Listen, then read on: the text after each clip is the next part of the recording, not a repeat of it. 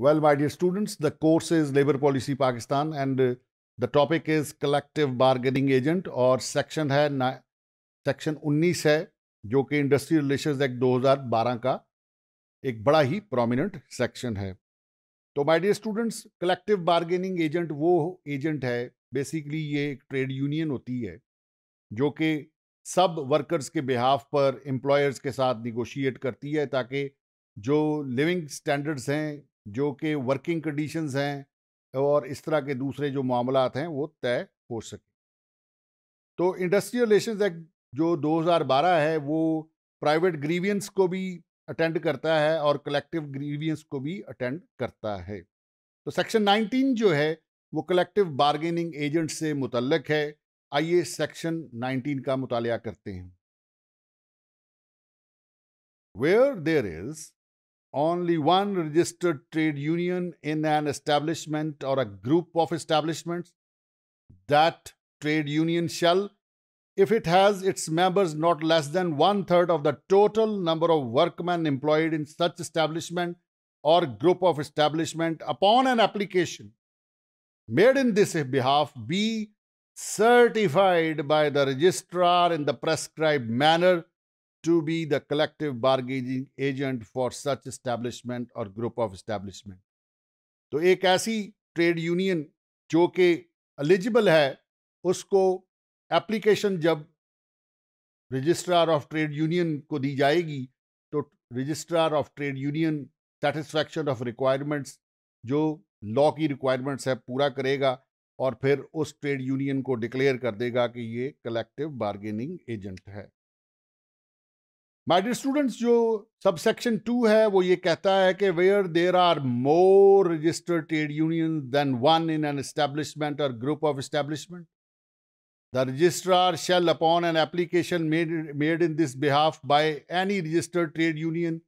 or an establishment or group of establishment, hold within 15 days from the making of the application a secret ballot to determine as to which one of such trade unions shall be the collective bargaining agent for the establishment or group. कि जहाँ पर एक से ज़्यादा trade unions हैं, वहाँ पर पोल होगा और पोल में रिक्वायर्ड जो वोटिंग कैपेसिटी है, वो अगर कोई भी ट्रेड यूनियन हासिल कर लेगी तो फिर रजिस्ट्रार उसको डिक्लेयर कर देगा कि वो कलेक्टिव बार्गेनिंग एजेंट है। अब देखने की बात ये है कि कलेक्टिव बार्गेनिंग एजेंट तो ट्रेड यूनियन बन गई। अब ट्रेड यूनियन के पास कौन कौन से राइट्स हैं? पहली बात के ट्रेड यूनियन एंटाइटल्ड है to undertake collective bargaining with the employer और employers on matters connected with employment non employment the term of employment और the condition of work other than matters which relates to the enforcement of any right guaranteed और secure to it or any worker by or under any law other than this act or any award or settlement. Collective bargaining agent represent all or any of the workmen in any matter or judicial proceedings under this act. Collective bargaining agent, my dear students, give notice of and declare a strike in accordance with the provisions of this act. And, my dear students, collective bargaining agent nominate representatives of workmen on the board of trustees of any welfare institutions or provident funds and of the workers participation fund established under the company's profit workers participation act 1968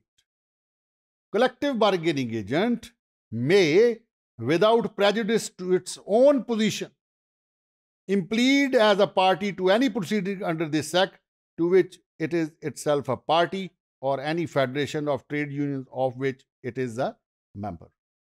Hope you have understood the topic collective bargaining agent. Thank you very much indeed.